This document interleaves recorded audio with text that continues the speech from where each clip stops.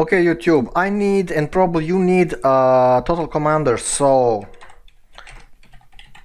Total Commander, enter, uh, download Total Commander from official Ghisler.com uh, website. Always do that from official websites. So, I do have uh, Windows 40 64-bit machine, so I will click here. And in a split of a second I need to grab that file no? Okay. Click again.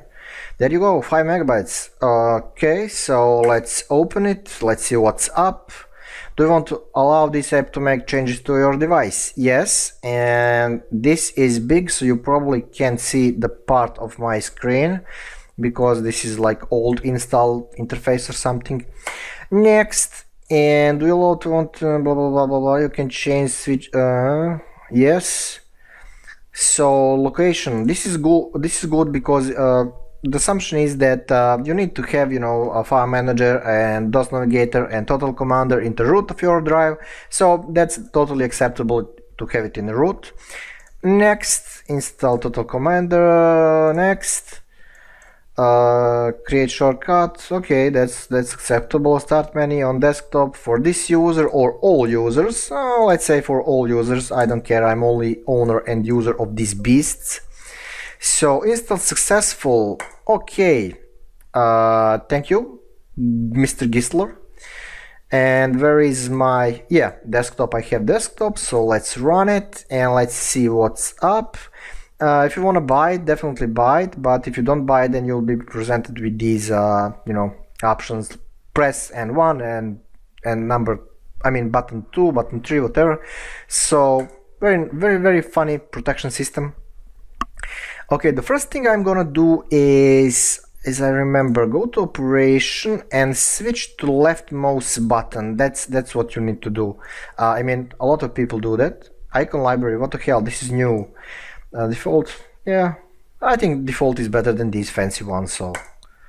Okay, so that's it. I have my total commander and I can mess around with a lot of stuff. Now the basic reason because I, I grabbed this total commander, why I'll always use it, is two things. First, the FTP client and the another thing is possibility to do a search search and replace in so many places you know uh, I mean, there is really, really a lot of options, and if you do know a little bit of regular expressions, then Total Commander, Commander can save you, you know, a lot of time. So really, really awesome stuff, you know.